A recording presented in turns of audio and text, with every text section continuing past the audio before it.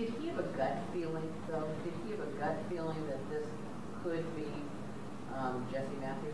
I'm not going to answer for him and his gut feeling. I hate to tell you that, but I'm not. I cannot do that.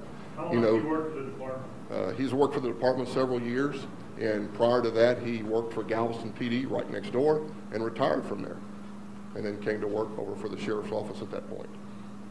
He is a seasoned officer, very respected, and again, I'd like you to respect his wishes. Was he arrested without any incident? Anything happened? Did it go smoothly? It appeared to, yes, sir. And what kinds of things, you said that he gave false information. Did he give a false name, false ID? At this time, those issues that you're discussing right now, I want to not answer that question until I've went further with the investigators that are here on the ground to see what information they'd like to release. Because truly, this is their investigation. We are assisting them in whatever we can do to make sure we can find whatever evidence they might need for their case. How crucial was the invest, the uh, publicity surrounding the case? We understand the person giving the tip recognized him from television? Say that one more time?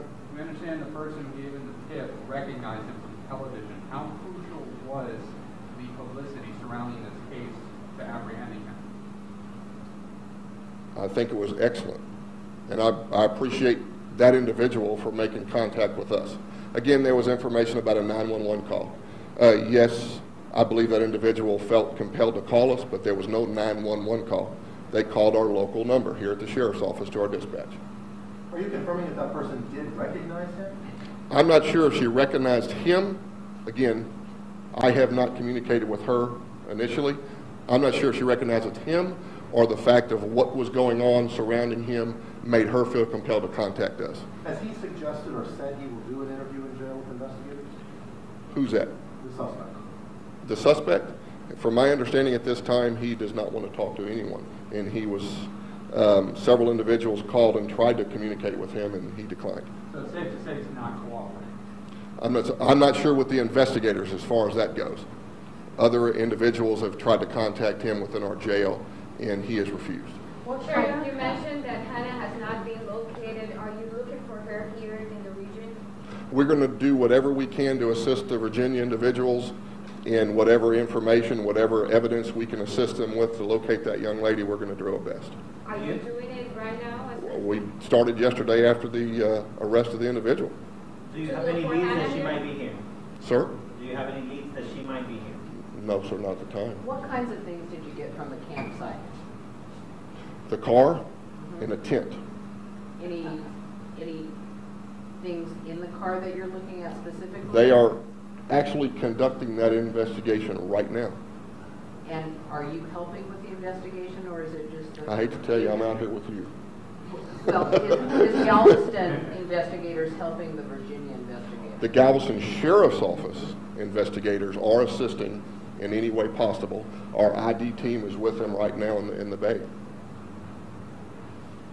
When you said that you, you you started searching for her yesterday, what, what type of things have you been doing and are you doing now here in this region?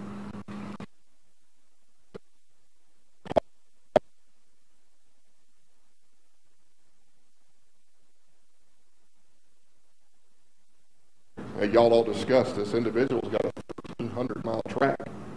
So there's a broad area to be looked at from A to B. Was he alone when he was detained?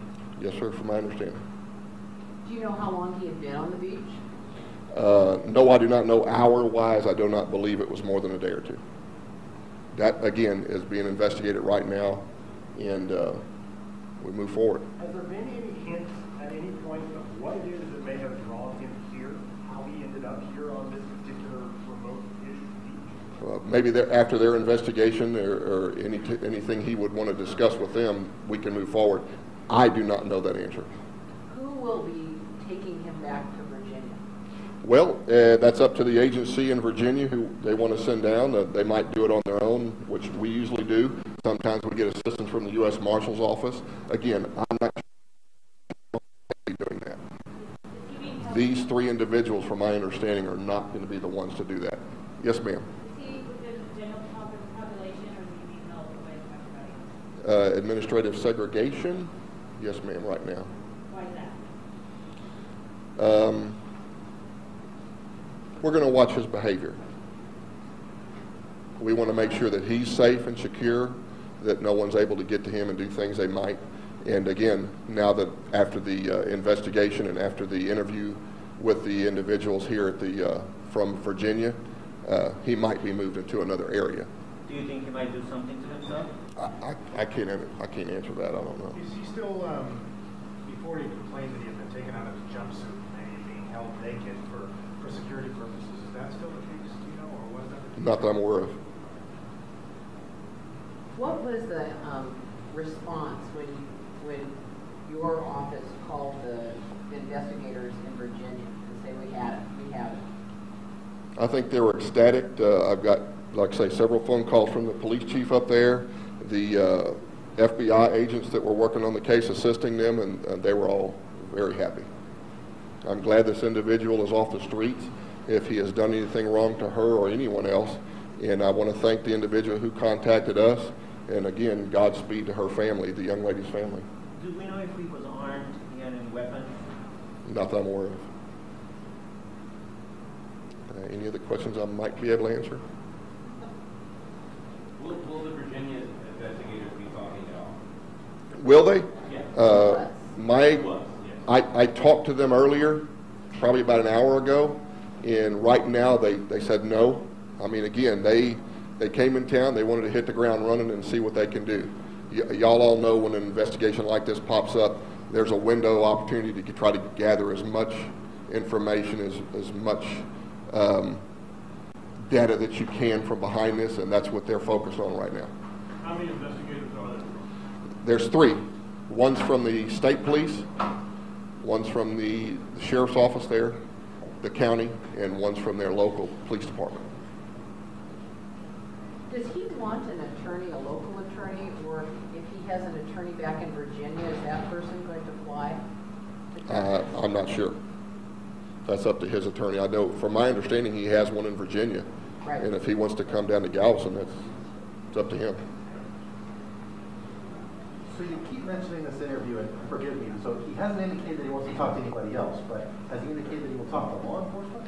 Well, regardless of the fact, when you do investigations like this, you're going to call him over. We're going to bring him over and sit down in a room with him, and they're going to talk to him. If he says nothing, then he says nothing. If he starts talking to them or communicating with him, then that's fine too. Or he might just say, I want my attorney, and never say another word. Will they be allowed any visitors outside of law enforcement if someone were to show up and say they want to talk to them? Uh, actually, someone already did outside of law enforcement, and um, they asked if we could communicate with him and find out if they would meet with him, and he said no. So, Is that Quad LS?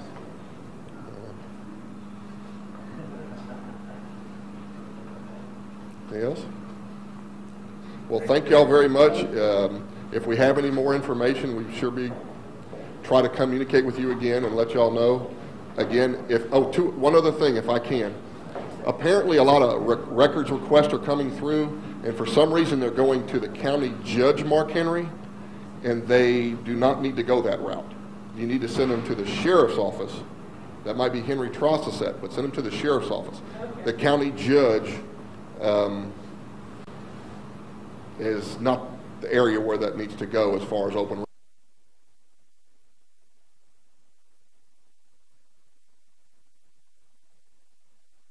Was accurate this morning.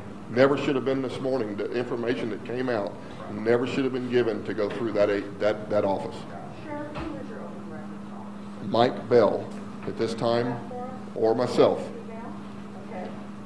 Mike Bell, the at sign, or Mike dot Bell, the at sign, um, co dot galveston dot tx dot us. Okay, thank you very much. Sheriff, one last thing, do you expect any briefings tomorrow? Um, if there's more information that we can give to y'all, we'll try to call one. At this time, again, you know, they, they hit the ground running. It's really their case. And I'm just telling you what we're doing and what we're assisting them with. And we're gonna try to do whatever we can for them and their benefit. Uh, we'd like this young lady to be located, and we hope it's a, a, a positive ending. But, uh, again, un- until we work things out, and there's something else we can pass on to you, I'm not sure. And Chair, will the car be moved eventually to Virginia? Will the car- car be moved eventually? Again, we're going to work with, with Virginia, and if they would like it transported up there, then, then yes, of course. Um, right now, from my understanding, they're uh, using the assistance from our ID team to go through it, to assist them with gathering whatever evidence may, may come out of it. If, was the car the sister's, his sister's car? And if so, can she be charged with a crime?